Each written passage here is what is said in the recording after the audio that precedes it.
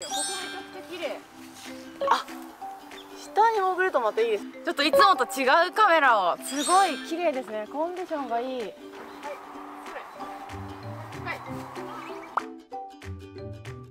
皆さんこんにちは。渡辺亮です。いつも動画をご視聴いただきましてありがとうございます。本日はまだ間に合う紅葉撮影ということでですね早いものでもう12月になったんですけど紅葉のありそうな場所にやってきました。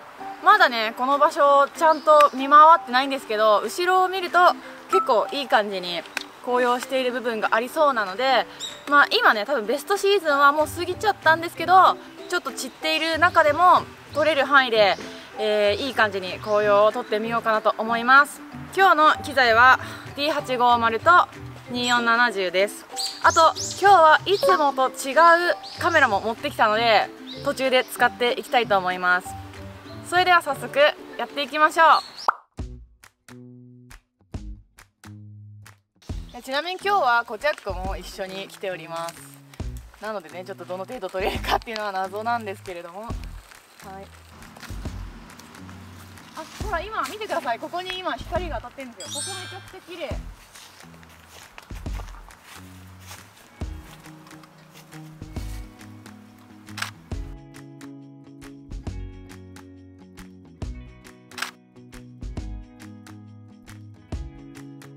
やっぱりこうやってあの残りが少なくなってきた時はこうよく見てあげてこのコンディションがいいところをクローズアップして撮ってあげるといい感じに撮れるかなと思います。逆にこれね全体を映してしまうと結構寂しい感じなんですよ。もうあっちの方はね枯れてたりとか。なのでこうクローズアップしてしまう方が簡単にいいのが撮れるかなと思います。はいこのもみじもすごくあの色がいろんな色の葉っぱがついてるんですよ。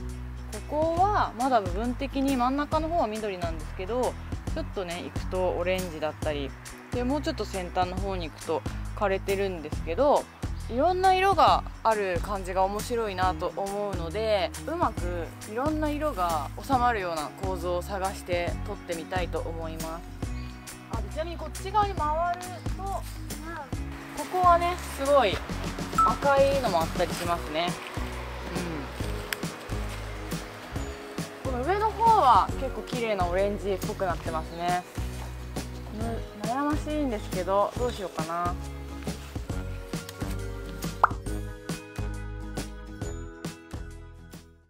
この上の方の綺麗なオレンジ色を撮ってみたいんですけどちょっとえー、70ミリだとちょっと遠いのでこのライブビューで持ち上げて撮っています。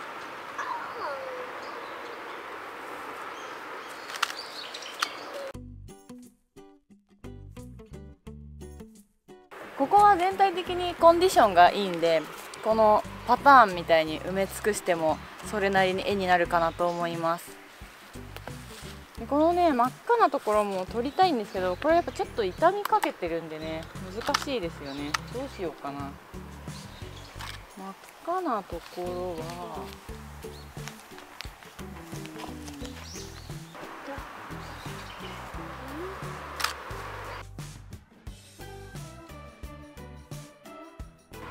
真っ赤なところは今みたいな感じで結構最短撮影距離まで寄ってあのちょっと傷んではいるんですけど思い切ってこのクローズアップして1枚の葉っぱに注目して撮ってみました。赤いのの背景に鮮やかな緑があるのでこの色の対比が綺麗に見えているかなと思います。ちょっと試しにこの下に潜ってみます。下に潜ってあ下に潜るとまたいいですね。これ赤いの。どうかな。すごいいい光風で揺れるけど。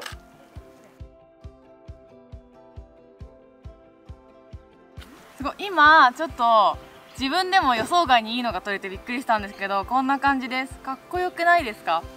外側から撮った赤い葉っぱの裏側に入ってで構図の奥にあっちにねちょっと深い茂みっていうか暗くなってるところがあるのでこの赤とその奥の暗い色を対比させるような構図で撮ってみたらこういう感じでさっきと全然イメージが違う感じになりましたね。自分でも予想してなかったような感じで撮れたのでちょっと嬉しいです。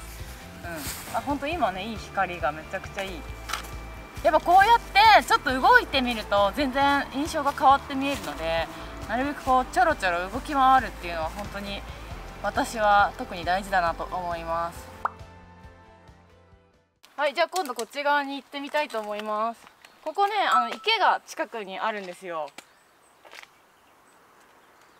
雰囲気としてはいいんですけど、まあ、なんか紅葉っていう感じでもないので、まあ、あんまり写真はちょっと面白みのないものになっちゃうかなと思うんでうん写真はいいかなっていう感じです。この先はこういう感じで橋になってるみたいですね。渡っていきます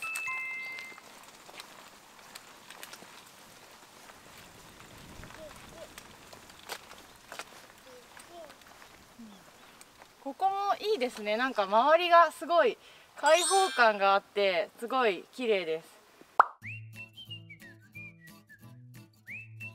じゃあ今日はここでですねちょっといつもと違うカメラを使っていきたいと思います。というのがこちらになります。ドドドドーン。こちらはリコーのシータ SC2 という360度カメラを今日は持ってきました。360度カメラって私初めて使うんですけどこことねここにカメラがついていてこの全体の雰囲気をこう1枚の写真で撮ることができるっていうそういうカメラなのでこれで周りの景色をぐるっと撮ってみたいと思います。撮影するにはこのアプリをスマホに入れてあるんでこれで撮るんですけどちょっとこちゃっこがあちょっと これ使うんだよ。使うの。っただからじゃあ一緒にやろう。一緒にやればいいでしょ？うん一緒にやればいいでしょ？これでちょっとどうなるかわかんないんですけど試しに撮ってみます。よいしょ。撮ります。はい。おじゃこ上上。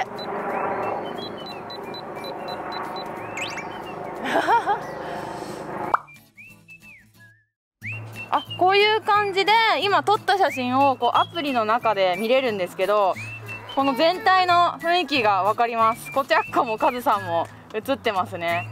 面白い。空も映ってます。えー、はい。じゃあこの辺りもねすごい綺麗ですね。コンディションがいい。もみじがたくさんある場所があったのでちょっと撮っていきます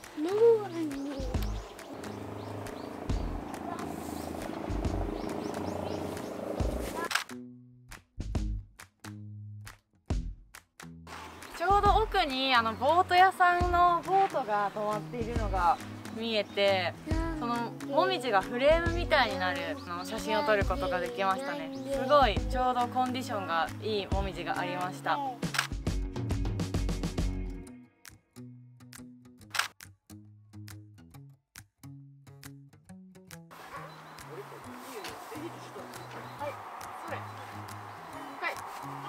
撮った写真はこんな感じになりました。1枚の写真の中に私たちの表情も綺麗なもみじ全体も収めることができました。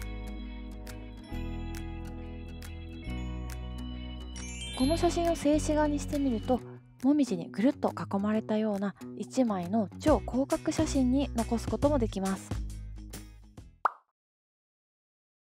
はいということで今回はまだ間に合う紅葉の撮り方を紹介しました、まあ、紅葉の撮影のポイントとしては木全体が綺麗なコンディションじゃなくても部分的にいいところがあるっていうところも結構多いので、まあ、よく観察してあげるっていうこととあのクローズアップで撮ってあげると結構綺麗な撮り方もできるのであのそういった撮り方も参考にしていただければ嬉しいです。今回はいつもと違うカメラこの360度カメラを持ってあのコチャックと一緒に撮るようなものも撮ってみました。普通の撮影とは全然違って全体のスケール感がある写真が撮れるので屋外の自然のスケールがある場所だったりあとは集合写真をなんかみんなで撮る時とかねあったら楽しいのかなと思いました。このシートで撮影した画像も概要欄のリンクでこうくるくるっとスワイプして見れるような形でも紹介しているのでそちらもよかったら見てみてください。この場所の感じがよく分かって結構ね本当に面白いと思います。今回も最後までご視聴いただきましてありがとうございました。この動画が少しでも面白かったとか役に立ったと思っていただけた方は高評価ボタンやチャンネル登録で応援のほどよろしくお願いします。それではまた次回の動画でお会いしましょう。バイバーイ。バイバーイ。イエーイ。イエーイ。いいじゃん。上手ですね。はいありがとう